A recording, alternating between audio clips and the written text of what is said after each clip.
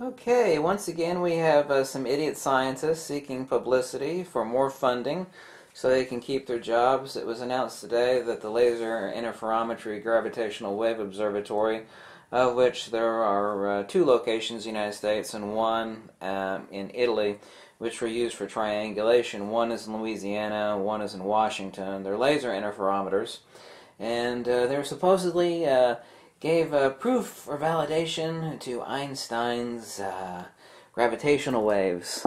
Well, they didn't. Let's actually take a look at uh, something that you can demonstrate here on your tabletop. This is actually uh, an example of laser interferometry. Now, before I actually get to the demonstration, um, let's uh, duplicate uh, binary objects, and I'm going to use a pair of magnets right here. Got North Pole here, South Pole here, North Pole here, South Pole there. Let's actually demonstrate that underneath the ferrocell. but let's first talk about what they actually did discover, and let's take a look at their claims. Okay, when uh, they've stated that when a gravitational wave passes through the interferometry, and the laser interferometer, well, this isn't the case. Space-time in the local area is altered. That's what they state. Well, that's BS.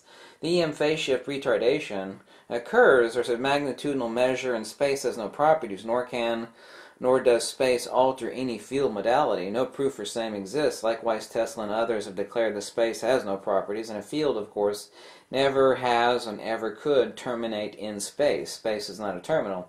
They go on to state that depending on the source of the wave and its polarization, well, dielectric acceleration has absolutely no polarity.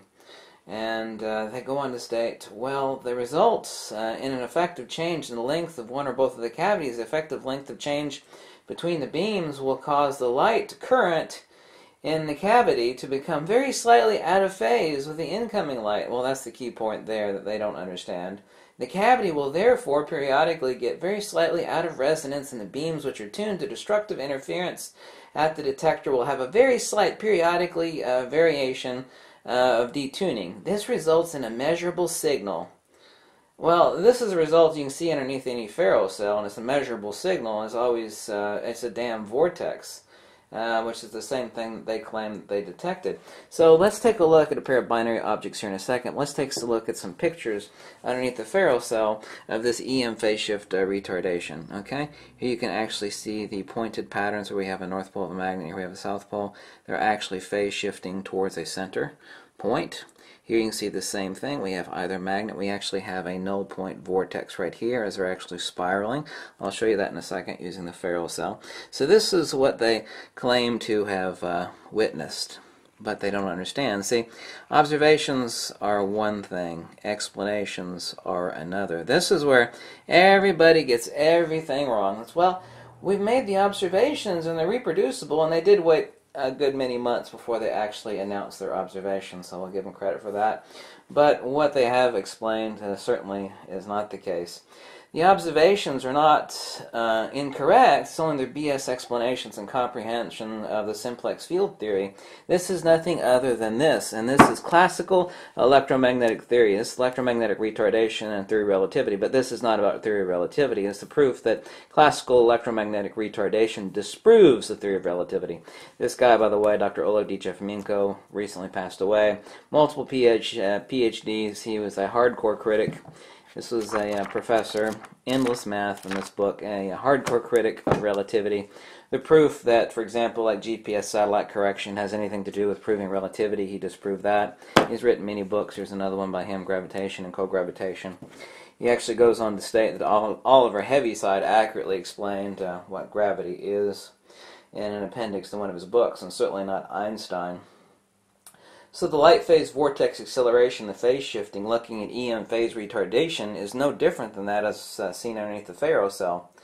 And uh, you can make a reference to this book. It's rather heavy. Um, it'd make most people's brains explode.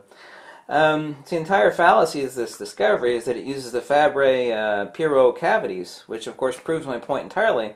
It uses a, uh, a uh, a beam reflector back and forth in these Fabry-Perot cavities to actually supposedly prove their claim. Well, their observations are correct, but the explanations are totally wrong. The light vortex due to the dielectric acceleration is no different than light uh, passing over uh, magnets in a ferrocell.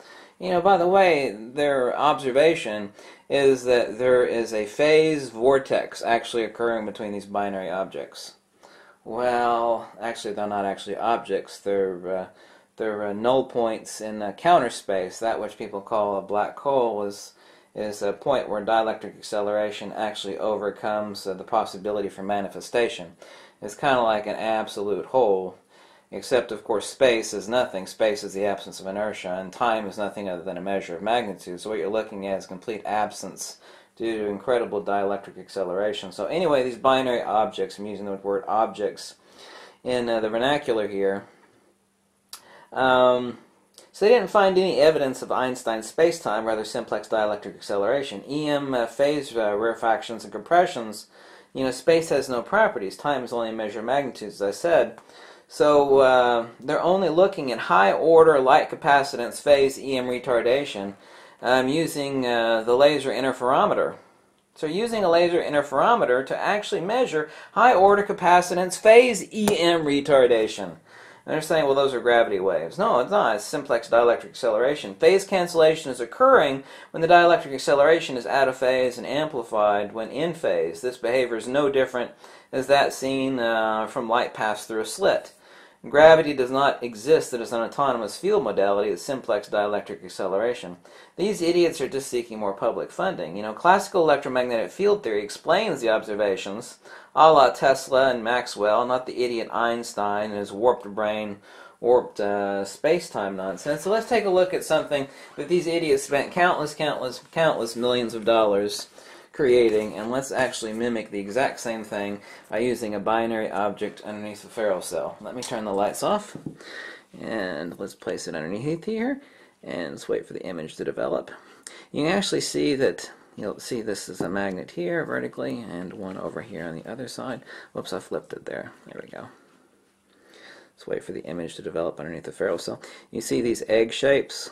This is a magnet here, this is a magnet over here. They're actually all coming to a null point at the center, center of the image here. They're all coming to a null point. If you actually look at the very, very center right here, you'll actually see a void. And this is, instead of, I'm using four poles here instead of two, but two, but this is the exact same thing. If you're actually to block out either pair of these on either side, block out this pair, block out that pair. This is the exact same thing that they report as having seen, and it's nothing other than simplex EM phase shift retardation. It's like, wow, that's just classical electromagnetic theory, a la Tesla, Faraday, Steinmetz, Oliver Heaviside, James Clerk Maxwell. It has no support and basis whatsoever to back up anything Einstein says. What you're actually seeing here, you know, white banding, dark banding, white banding, dark banding, this is also EM phase shift retardation.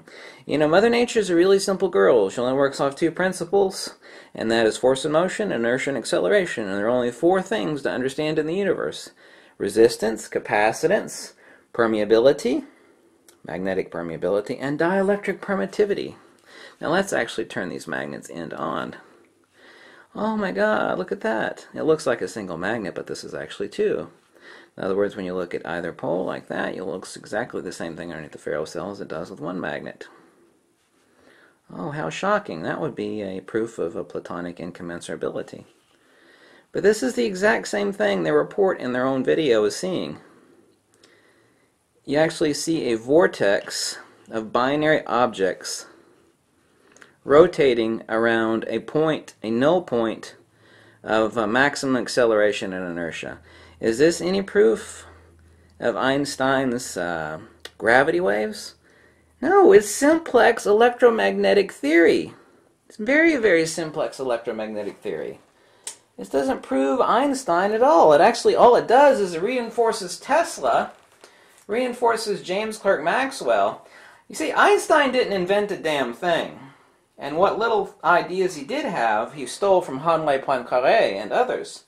There's actually many books out there about that. This is just classical electromagnetic field theory that explains the observations of Tesla and Maxwell. See, they actually make these very keen statements that they don't, uh, you know, they make correct observations, but uh, incorrect conclusions and incorrect explanations, which is a huge fallacy of science. Huge. You know, you can observe anything and you can reproduce the results. You can say, well, you know, the sun rises in the east and sets in the west. It's like, well, yeah, you've made a huge discovery there. Well, the explanation is, is there's a team of unicorns up there in the sky, and there's a sky god, and he pulls the sun from one side of the earth to the other.